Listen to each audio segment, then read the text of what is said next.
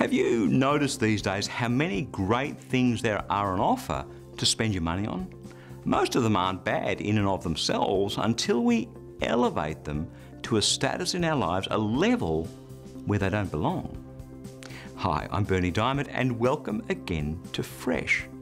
I have to be honest with you, I've always loved technology. From back in my high school days when the first microcomputers appeared, they weren't called PCs back then, but microcomputers, I was hooked. My first degree at university was in information technology, although back then we called it electronic data processing, paper tapes, punch cards, ah, the good old days. And look at just how in the last few years, smartphones have revolutionised the way we live. It's something no one could ever have predicted, even 10, 15 years ago. Now, I enjoy using my smartphone and I tend to upgrade regularly, selling my old one on eBay at a good price. I love it.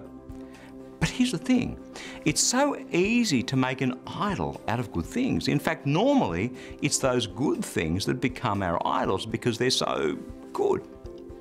I heard someone say recently life has to be about more than the latest iPhone release. That's a good point.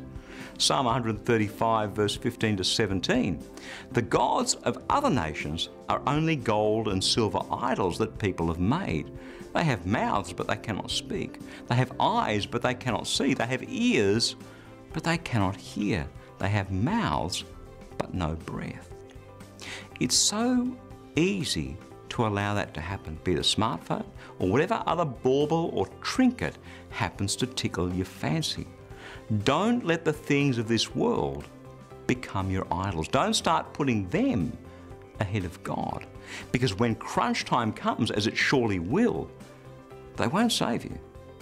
That's God's word. Fresh for you today.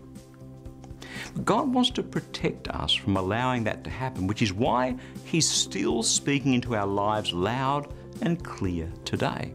But sometimes it's not that easy to hear what He's saying. That's why I would love to send you a free copy of my special release book, How Can I Hear God Speak to Me? To request your free copy, stop by at ChristianityWorks.com and you'll see that free offer right there at the top of the homepage. Again, that's ChristianityWorks.com.